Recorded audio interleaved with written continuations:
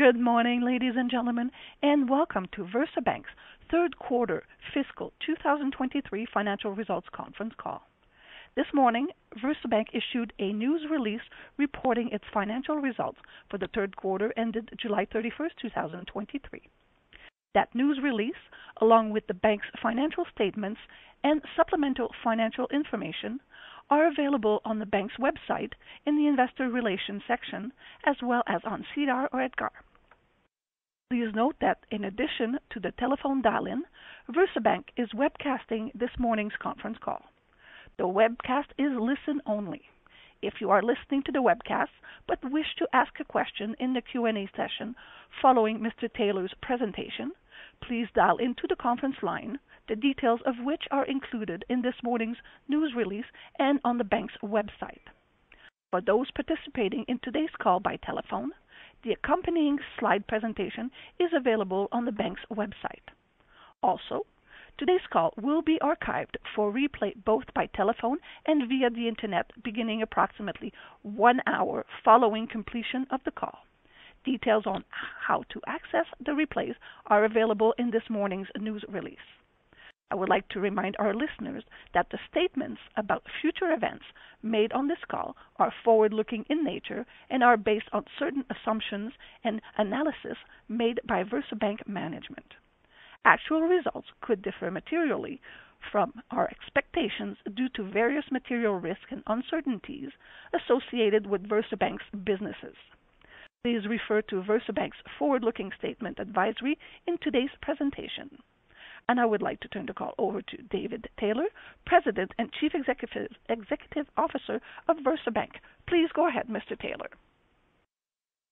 Good morning, everyone, and thank you for joining us for today's call. With me is Shawn Clarke, our Chief Financial Officer. Before I begin, I'd like to remind you that our financial results are reported and will be discussed on this call in our reporting currency of Canadian dollars. For those interested, we provide US dollar translations for most of our financial numbers in our standard investor presentation, which will be updated and available on our website shortly. Now for the results. The third quarter of fiscal 2023 was once again, as is the case in the first half of the year, solid evidence of our significant operating leverage and our branchless, partner-based, business-to-business digital banking model.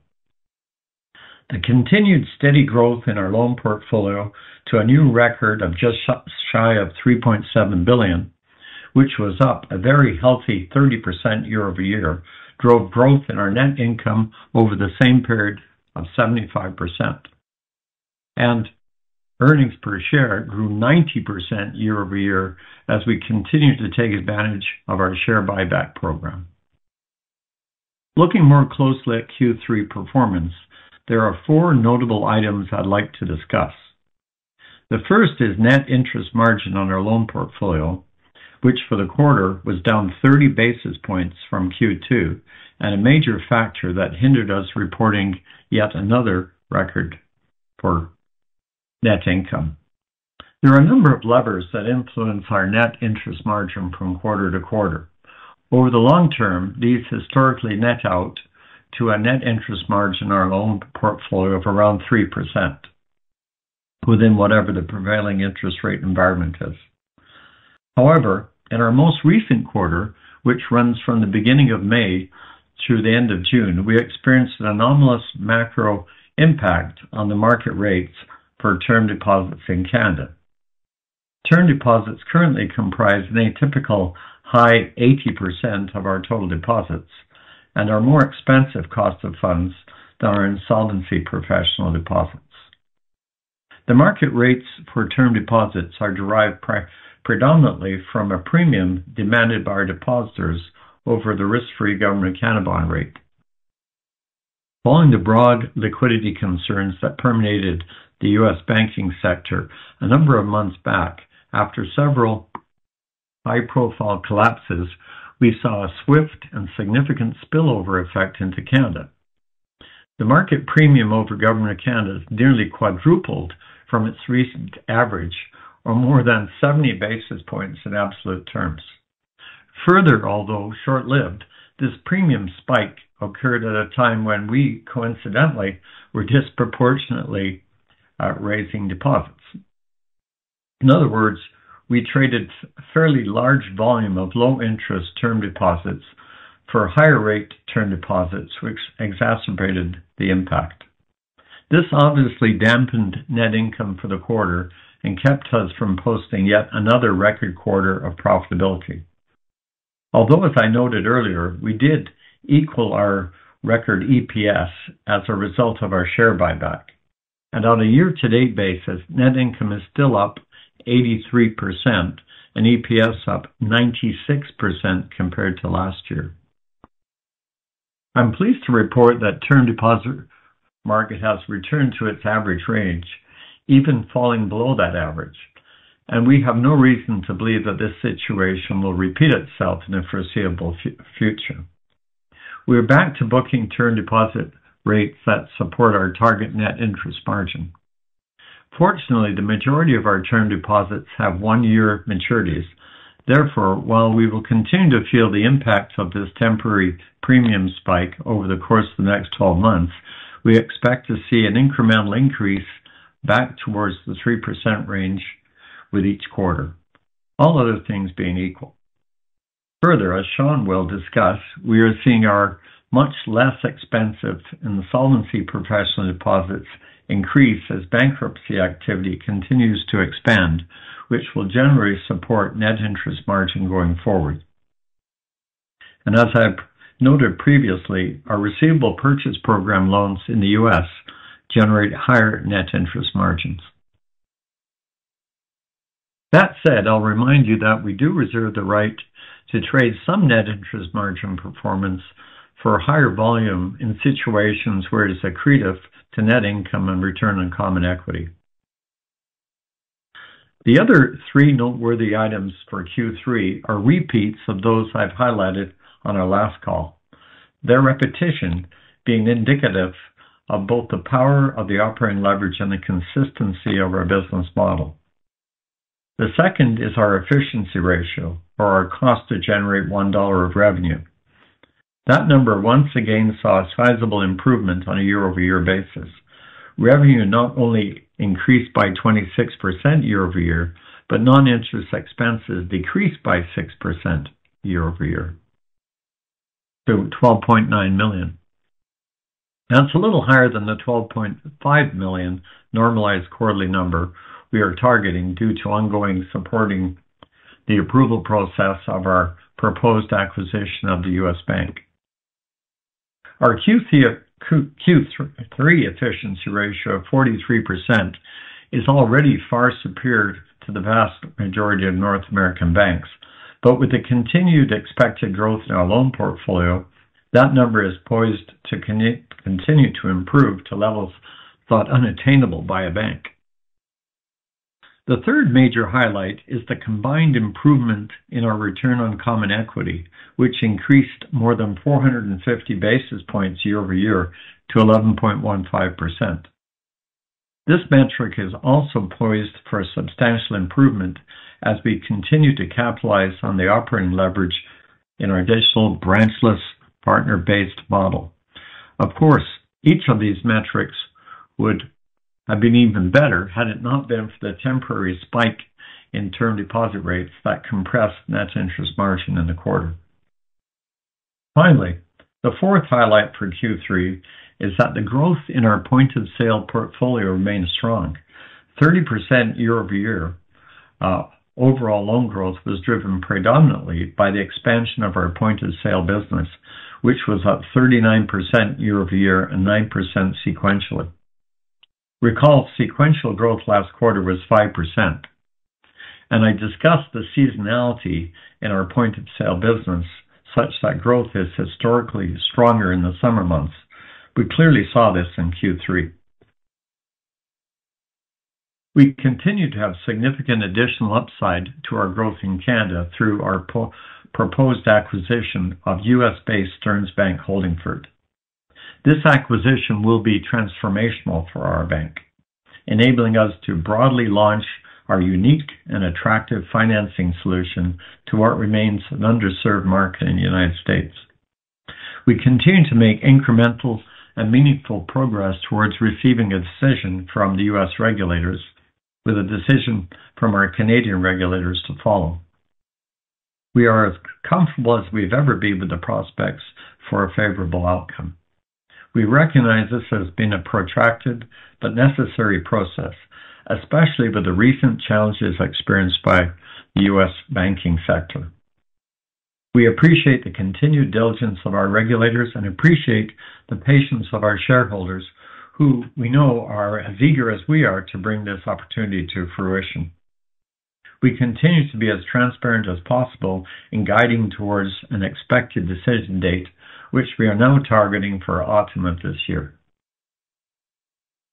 If favorable, we'll proceed towards Canadian regulatory approval and closing of the acquisition as quickly as possible thereafter. The limited launch of the RPP program in the United States continues to give us confidence in what we can achieve with a broad national launch. Our still limited but accelerated rollout of the U.S. RPP program continues to be encouraging. In Q3, our U.S. portfolio grew by another 38% as we started to ramp up our second partner. I'd now like to turn the call over to Shawn to review our financial results in detail. Shawn? Thanks, David. Before I begin, I'll remind you that our full financial statements and MD&A for the third quarter are available on our website under the Investor section, as well as on SEDAR and EDGAR. And as David mentioned, all the following numbers are reported in Canadian dollars as per our financial statements, unless otherwise noted. Starting with the balance sheet. Total assets at the end of the third quarter of fiscal 2023 were just over 3.98 billion, up 29% year-over-year from 3.1 billion at the end of Q3 of last year, and up 7% sequentially from 3.7 billion at the end of Q2 of this year. Cash and securities at the end of Q3 were 271 million, or 7% of total assets, 7% being unchanged from both Q3 of last year and Q2 of this year. Our total loan portfolio at the end of the third quarter expanded to another record balance of 3.7 billion, an increase of 30% year-over-year and 7% sequentially. Book value per share increased 12% year-over-year and 3% sequentially to a record 13.55 dollars. These increases were the result of higher retained earnings, as well as fewer shares outstanding due to our share repurchase program, partially offset by dividends paid. Our CET1 ratio was 11.15%, down from 12.51% at the end of Q3 of last year, and down from 11.21% from Q2 of this year. Our leverage ratio was 8.53%, down from 10.38% at the end of Q3 of last year, and down from 8.83% at the end of Q2 of this year. Both our CET1 and leverage ratios remain well above our internal targets. Turning to the income statement. Total consolidated revenue increased 26% year-over-year and 1% sequentially to another record 26.9 million dollars, with the increase driven primarily by higher net interest income derived from our digital banking operations. Consolidated non-interest expenses were 12.9 million, down from 13.2 million for Q3 of last year, and up just slightly from 12.7 million for Q2 of this year. I will note here that non-interest expense remains slightly higher from what we expect to be our normalized run rate, of around 12.5 million per quarter for fiscal 2023, due primarily to the ongoing expenses related to the regulatory approval process associated with our pending U.S. acquisition. Consolidated net income for Q3 increased 75% year-over-year and decreased 3% sequentially to 10 million.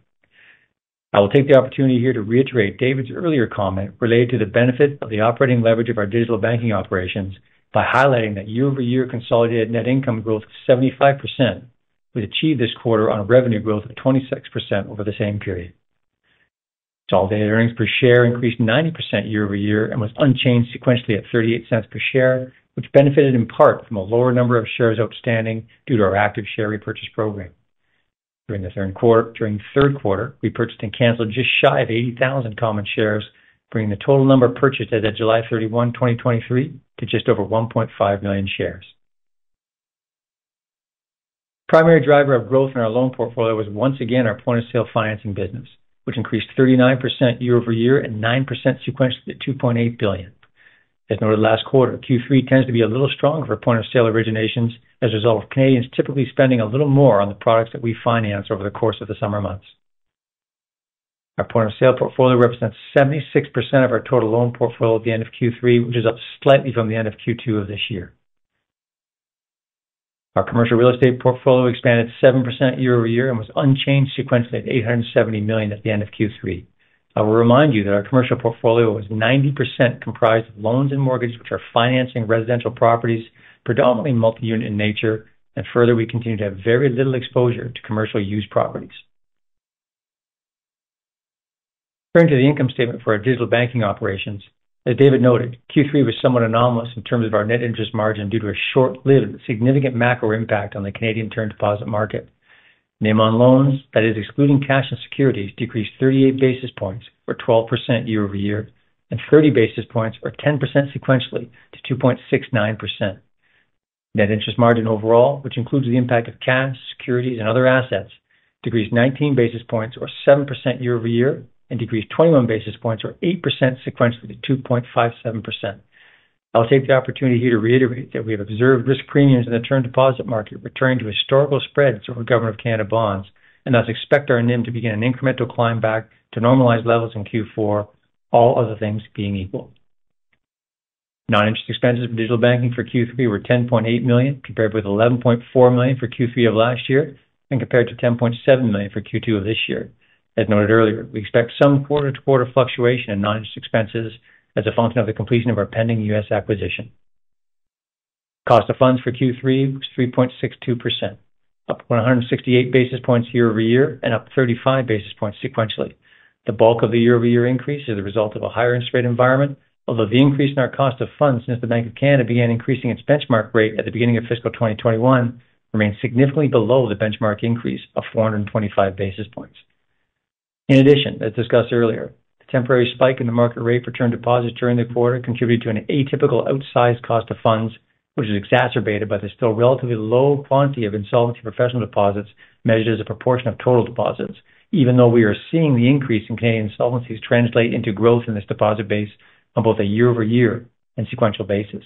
For context, according to the latest StatsCan data on a year-to-date basis, Canadian consumer bankruptcies have increased approximately 26% as at June 30, 2023, with annual growth estimated up to 30% for the same for the same year, which is expected to result in continued growth in the bank's TIB deposit base, which in turn will favorably impact cost of funds and ultimately support NIM expansion. Wealth management, or what we refer to as personal deposits, expanded 45% year-over-year and 8% sequentially. On the credit risk side, just a quick comment, our provision for credit losses, or PCLs, in Q3 remained very low at just 0.02% of average loans, compared with the 12-quarter average of -0.01%. Turning now to DRTC. As a reminder, beginning in Q1 of this year, revenue for DRTC includes that derived from the digital banking operations for various technology development services, in addition to the contribution from our cybersecurity services business, Digital Boundary Group, or DBG. Let me start with DBG's standalone results. DBG's revenue for Q3 increased 10% year-over-year and decreased 8% sequentially to 2.4 million, while gross profit increased 52% year-over-year and decreased 6% sequentially to 1.8 million. Variations are the result of the ebb and flow of DBG's service engagements, with the outsized increase in gross profit resulting from efficiency gains in the business. DBG remained profitable on a standalone basis within DRTC.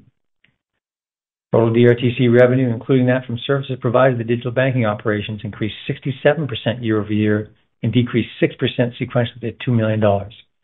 DRTC's net loss of 99,000 was an improvement over a net loss of 662,000 a year ago, and compares to net income of 433,000 in Q2 of this year, which benefited from the recognition of a deferred tax asset related to DRTC's non-capital loss carryforwards, which are anticipated to be applied to future taxable earnings.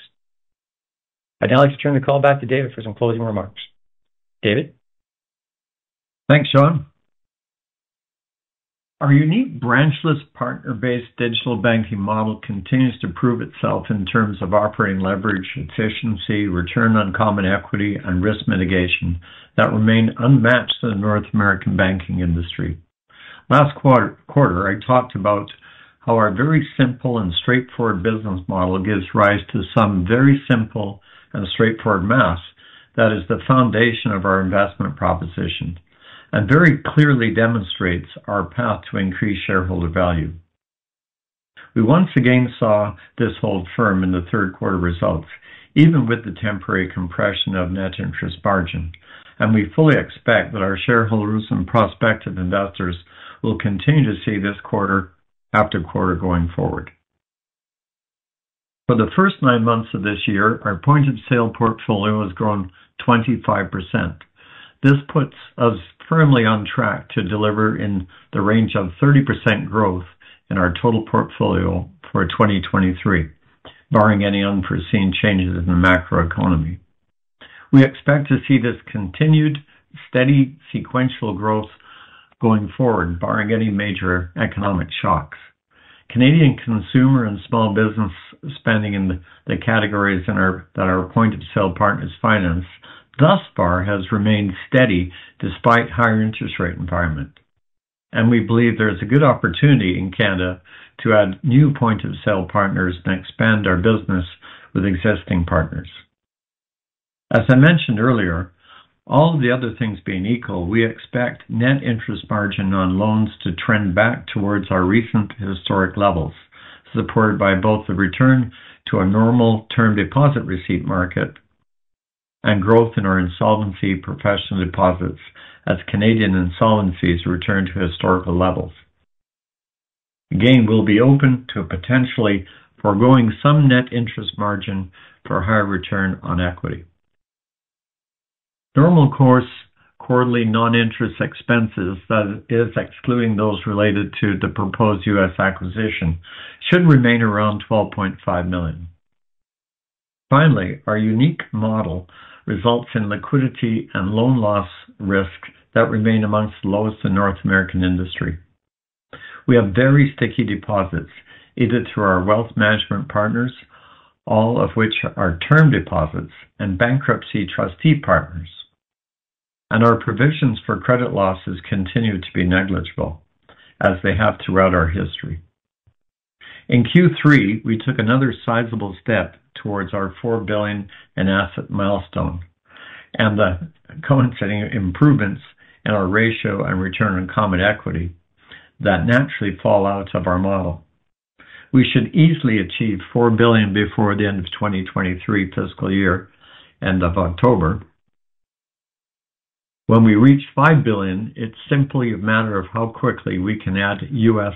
RPP loans once we begin to broadly roll out that program following a favorable regulatory decision on our U.S. acquisition. With that, I'd like to open the call to questions. Operator? Thank you, sir. Ladies and gentlemen, if you would like to ask a question, please press star followed by one on your touchtone phone. You will then hear a three-tone prompt acknowledging your request. And if you would like to withdraw from the question queue, please press star followed by two. And If you're using a speakerphone, we will need you to lift the handset before pressing any keys. Please go ahead and press star one now if you do have any questions. And your first question will be from David Feaster at Raymond James. Please go ahead. Hey, good morning, everybody. Good morning, David. Glad to hear that the dislocation in in the term deposit market's been alleviated, and there's there's more visibility in kind of getting back to that normalized margin run rate. Um, Shawn kind of talked about, you know, getting closer there in the fourth quarter, but, you know, it sounded like maybe it might take a little bit longer. Uh, hearing you, David, I was just hoping you could maybe give us some thoughts on kind of the the margin trajectory in the next two or three quarters, and whether you'd expect to get back there near term, or is there going to really be a big step up, you know, in the fiscal third quarter next year when when these mature? I think it'll just um, quarter by quarter return to around about the 3% margin that we've uh, had historically. And uh, one of the reasons is is we're growing so rapidly, so we're we're booking um, new term deposit receipts at the at the now uh, normal levels. Uh, it spiked to about 90-odd basis points over Government Canada bonds for a short period of time, and then it sort of recovered down to about 16, 17 basis points. I've got a nice graph on it. Um, so one of the uh, positives of having a sort of short-term assets, short-term liabilities, is that um, uh, we recover from something like this fairly quickly. But we also have the negative, where if uh, there is a short-term dislocation, that uh, it's it's felt in uh, in a quarter. The other thing that's coming on board, um, unfortunately for Canada and for good Canadians, is the um, propensity to go into bankruptcy is increasing fairly dramatically. And um, that bodes well for our our more economical and priced trustee deposits run around prime minus three. Um, we are seeing um, uh, sort of a very um, correlation between the new accounts we've opened and what Stats Canada is posting for uh, for the increase in bankruptcy. So between 20%-30% increases in bankruptcies this year, uh, and that's about the same number of new accounts we've opened. So these new accounts sort of fill up with the proceeds of a bankruptcy and supplement our funding, of course, at a much more economical rates. So that'll help too. Help us- Yeah. Not help, sorry, not help the economy. That's right. Um, and then maybe just touching on the other side, you, I mean, obviously, you're seeing tremendous growth um, in the point-of-sale market. And you touched on some of the seasonal strength this quarter and, and you know, um, the potential slowdown in consumer spending here in the, in the fiscal fourth quarter. I was just hoping you could maybe touch on the economic backdrop that you're seeing in in Canada. Obviously, you touched on, um, you know, some of the stresses that you're seeing, but what gives you confidence that this is, whatever this might be, is gonna be short-lived? And then just the addition, you know, the pipeline of new point-of-sale customers uh, in Canada, and just the early read on on what you're seeing in in the U.S. as well, and receptivity there. Well, in Canada, we saw what you you kind of expect. Um, Canadians sort of come out of their cocoons in in the spring, and they buy stuff. And um, even despite uh, the cost to borrow increasing fairly significantly, we you know, we we Canadians tend to buy cars and motorcycles and hot tubs and and uh, home improvement uh, despite those things. I do expect in the fourth quarter that the higher interest rates and um, that kind of uh, enthusiasm to buy will dissipate somewhat. Uh, or, you know, if it gets back to around 5% growth in the fourth quarter, I'd expect that. I think in the winter months, you're probably looking um, for sort of lackluster uh, purchases, so 5, 4, 3, quarter by quarter. Um, it's kind of inevitable um, that the raising of rates in uh, Canada will will dampen that. Uh, now, at the same time, we're still adding more partners, uh, so our reach into Canada is getting um, greater than it was, so that will offset that a little bit. And there's also the um, the home improvement market that is mainly looking at energy savings, i.e., insulation, new furnaces, new hot water heaters. Things are more efficient, so that kind of drives it too. So it's... Um, but I don't expect uh, 2024's growth to be uh, 30% like it is uh, this year. It it should be less if Tiff Macklem has his has his wish. He's trying to dampen that, trying to dampen it. In the U.S., it's such a huge market, and our product is so popular that, um, Uh, you know, we can double, triple in the States, um, uh, without putting a dent in the market. Um, so I expect to uh, have a recession in the States too, but I don't think that'll have much impact on us in that um, the market's so huge. That makes sense. And and maybe maybe just switching gears to to DRT Cyber. I'm I'm curious some of the underlying trends you're seeing there. Obviously, we had the DTA impact in the quarter on the revenue side, but you you talked in in the MD&A about, you know, some slower engagements, but kind of reading further, it sounds like this might be more of a timing issue. I'm just curious what you're seeing within DBG and and kind of how the pipeline's looking going forward. Yeah, it's sort of an anomaly for uh, for the quarter. Uh, DBG continues to sign up new customers for its penetration testing, and it's uh, very um, popular in that in that area. And then and the other products the DRTC is bringing on board seem to be quite well received in the marketplace too. Um, yeah, so I see DRTC, DBG um, continue to grow at the rate it has been growing at. What we're hoping for is sort of a breakthrough with a relationship with, um, say, a large a large corporation that provides uh, other services to our target market, and that's mainly other financial institutions. So uh, we'd like we'd like to um, vend our services through uh, somebody who already has a relationship. That would be a breakthrough. We we have state—well, I think our customers think we have state-of-the-art technology for providing cybersecurity, and it would be nice uh, for altruistic reasons too to be able to provide those services to other FIs that seem to be quite vulnerable to uh, cyber attacks. That's helpful, Colin. I appreciate it. Thanks, everybody. Thank you.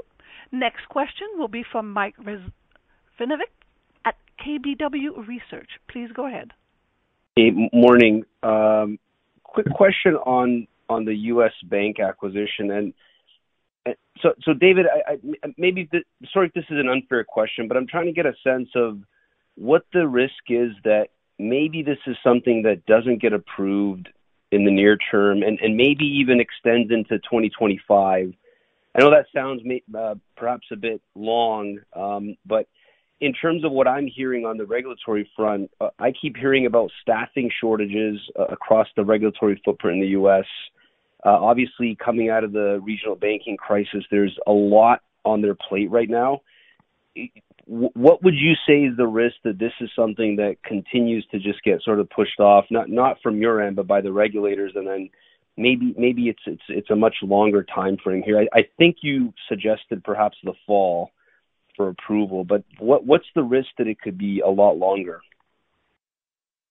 Well, it's it's um, a a, tiny risk, but it's not nonexistent because those factors you mentioned are real. The U.S. regulators got their work cut out for them with with the various challenges that have surfaced. And um, you know, frankly, we we're a pretty small transaction. We don't move the needle for them. Now, mind you, after saying that, we're we're probably the cleanest bank anyone's ever seen. Uh, you know, it's not not very often, I think, you'd come across a financial institution and talk about a 30-year history of virtually no loan losses and a model that's been proven out in this in Canada, point-of-sale model, I'm think, talking about that uh, is in quite a significant demand uh, in in the States. So We've got those those things going in our favor. But as you say, there is a backdrop of um, U.S. regulators being um, uh, sort of challenged with their existing business. Uh, I wouldn't say it's nonexistent, uh, but from what we're seeing and uh, our interaction with U.S. regulators, it looks like we're getting close to close to the end. Um, there there hasn't been anything new come out for a long time. And I think our value proposition for the U.S. economy is is significant. We're providing an alternate source of funding that percolates through to consumers and small businesses, which is you know helpful for any economy. Uh, so, uh, not nonexistent, but I'd say uh, we're in the 90% that we'll see we'll see some movement in the in the fall. Okay, that's very helpful. Thank you for that, color. And then A quick one on POS. I recall a couple quarters ago, I thought you were a little bit less optimistic on volumes, and it. I think it's fair to say that you've been pleasantly surprised on the 9% growth this quarter or 5% sequentially last quarter. It's been it's been a really good trajectory here, and I'm wondering, uh, what what do you think is driving that? I don't know if this is more industry more broadly, or is it just more of a of a of a you know take market share from from VBNK's perspective? But It's a combination of both. We are taking market share from the others that are participating in this this area. Uh, our model, our systems, our technology are uh, state-of-the-art and uh, customers, our partners like it. Uh, they like getting fast funding. They like um, fast turnaround, and our our buy rates are are competitive. And so we are taking market share. Um, the other thing is, it's just what I was talking about earlier. There's always a boost in purchases in the summer, and it was maybe a little more of a boost than we were originally anticipating, but um, it is the summertime spending spree, and it'll dissipate in the fall. Like I was saying, uh, in that um, the higher rates, i.e., the the monthly rate uh, for your motorcycle or your hot tub or your or your home improvement has gone up fairly significantly. And uh, you know, a lot of Canadians now are wondering how they're gonna make their mortgage payments with uh, renewing their mortgages at much much much higher rates. So I, you know, I expect that um, the actual purchases to decline uh, going forward. Um, but uh, we are taking more market share too, uh, that um, might very well offset that. Thank you so much for the insights. Appreciate it. Well, thank you, Mike. Once again, as a reminder, ladies and gentlemen, if you would like to ask a question, please press star followed by one on your touchtone phone. And your next question will be from Stephen Ranzini at University Bank. Please go ahead. Uh, great uh, job on a great quarter, uh, David and team. It was great to see you at the picnic, which is a really fun time. Yes. Yes, So Just to follow up on David Feaster's question. And by the way, are you gonna be at the Raymond James conference in Chicago Uh, next month? I sure am. Awesome. Well, hopefully we'll see you there. Um, you know, David was talking about the the the the model, sort of the, you know. In last quarter, you also went through this, but I just wanna make sure that you still see things the same way. You were saying if we can get to $5 billion in loans at a 3-point margin, that's 150 million of net revenue, and your expenses are running, uh, Uh, you know, 12.5 million a quarter, so 50 million a year. So you know, you can get to 20% ROE, and you have the capital to to do that. Is that still your thinking? Yeah, that's absolutely right, Steve. Um, it's a fantastic model. It just gets better and better with the volume. Um, I guess it's inevitable we'll get to the 5 billion mark. The question is just how how uh, Uh, long it takes. Um, I was talking about. Right. Uh, the recessionary forces offset perhaps by uh, entering the U.S. market in a bigger way and um, taking a little market share in Canada. But I think, you know, we'll end this year well over four 4 billion, and I'm hoping next year's over five, and That's when the numbers really start to to work work well. Super. And then the the follow-up question I've got on a different topic is, you know, during the quarter, you you bought back just under 80,000 shares, and for the year, a million five. And You mentioned that um, in August, you have to go back to your regulator to, uh, you know, sort of get new permission for a buyback program. Um, Just curious uh, about two things. One, uh, why only 80,000 shares in the most recent quarter? Did you did you run out of room or, you know, did the share price run away from your target? And and what are you targeting for next year? What do you think would be great to be able to do next year? Well, we ran out of capacity to buy. Uh, um, we're only allocated so many shares we can purchase by our regulator each year. And um we ran out. Um, yes, we do have the application to to buy more shares, and it's in the order of about 1.5 million shares would be uh, our hope. Um, mind you, we are in a uh, you know um, what do you call it? A more challenging regulatory environment in that um, regulators both north and south of the border are looking for more more capital, not less. So I'm not not sure how well received a 1.5 million share purchase will be. Um, but we would like to uh we would like to have a normal course issuer bid open so we can take advantage of our stock when it's running less than book value. It just obviously makes it turbocharges our earnings. The denominator is reducing. It's what gave us $0.38 this quarter versus last quarter, despite being slightly down in net income. Well, yeah, and uh, I I uh, am enthusiastic about your approach to buying back the stock at under book value.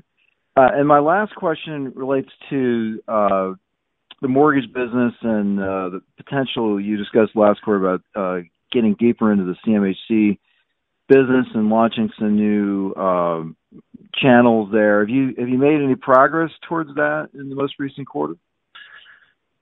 On the retail side, um, we're working um, with some partners uh, with a view that in the first part of uh, 2024, we'd be able to launch the retail-type uh, mortgage product and make good progress there. We've hired a person who's an expert in that area, and we've got some good partnerships developing.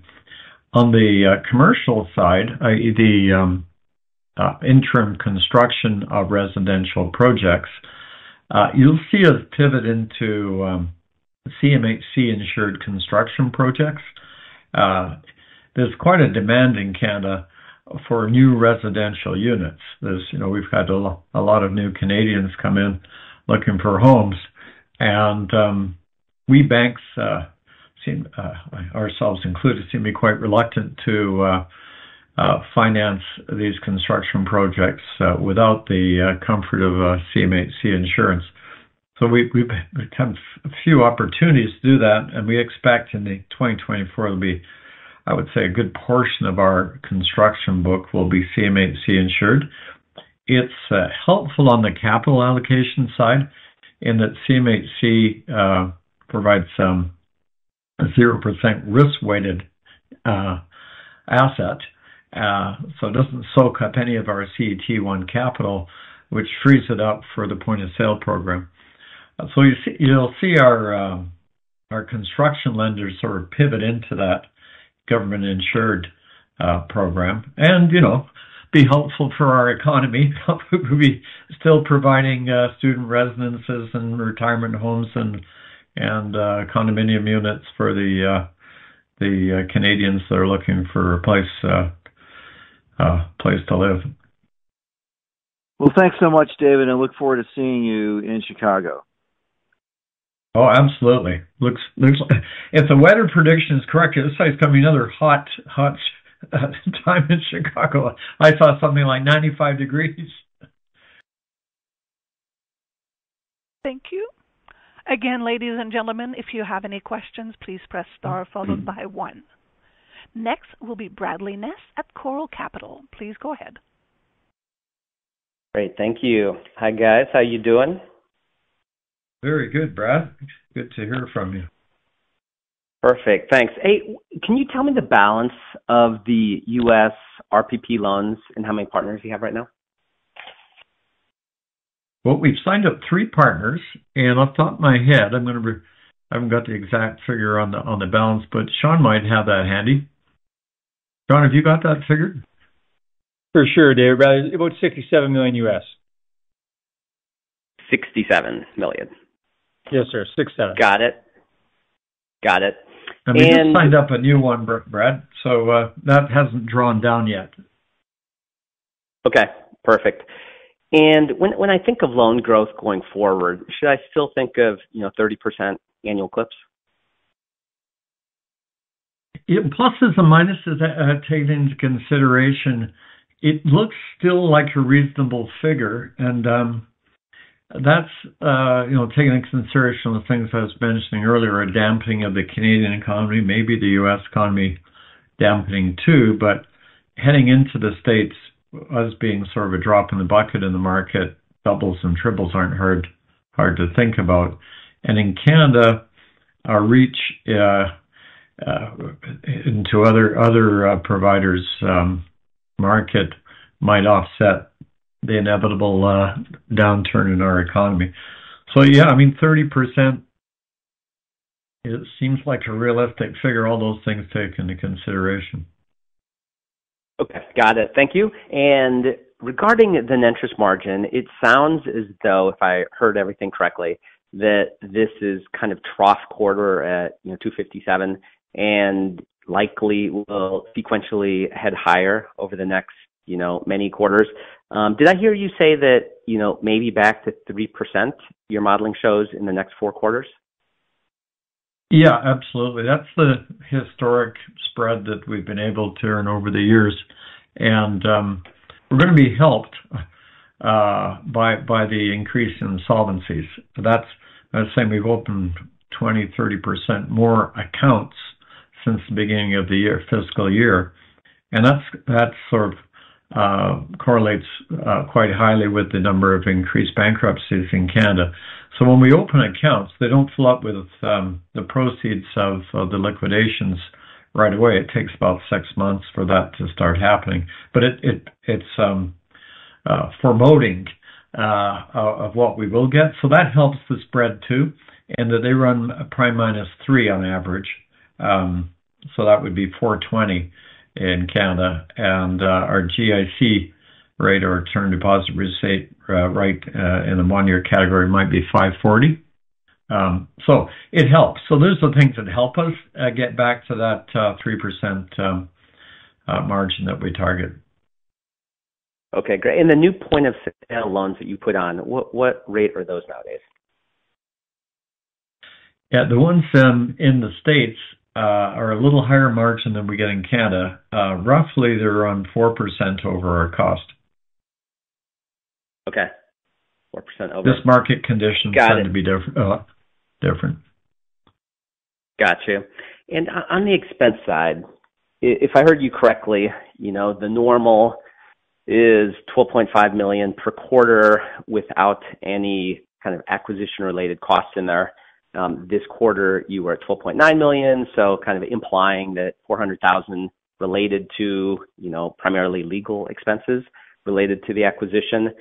And just kind of thinking about it, I'm like, you know, you've been running higher legal expenses for, I guess, you know, a year and a half or so from this acquisition. Like, what addition, like 400,000 seems like a lot when all that should be kind of done, I would have thought.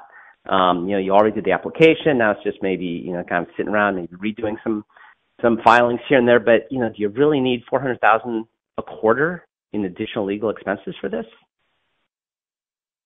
Uh, it uh, could be even higher, hopefully when we close. But there's other miscellaneous expenses that went through the quarter too. Um, about half of that might have been attributable to uh, what Uh, Steve was uh, alluding to. Uh, we completed our 30th year and had a celebratory um, picnic that you should have come to, Brad.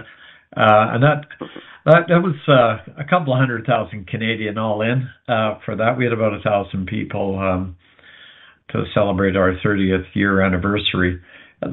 Things like that went through. There's pluses and minuses. Um, but normally speaking, on a normal quarter, 12.5 uh, is about the right figure for us. Okay, great. That's it for me. I appreciate it, guys. All righty. Thank you. And at this time, Mr. Taylor, it appears we have no further questions. Please proceed with any additional remarks.